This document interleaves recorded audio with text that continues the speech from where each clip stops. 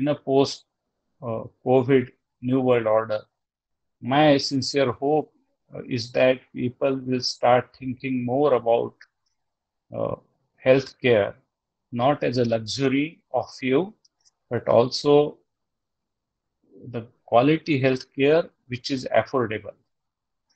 In Europe, it is it was always there because of very strong public healthcare system, but their limitations have also come out very strongly, especially in the countries like UK, where they simply couldn't provide uh, healthcare to several elderly people. The large amount of deaths that have happened in old age care homes in UK has shown the limitations of NHS as a system. Similarly, in the countries like India, there was enhanced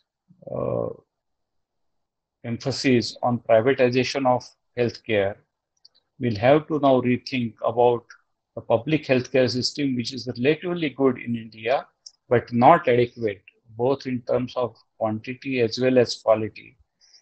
Uh, we will have to rethink how we should reshape the healthcare system in order to have both affordability and quality uh, being a basic uh, principle behind the healthcare system. And I can give you many more examples uh, of this kind.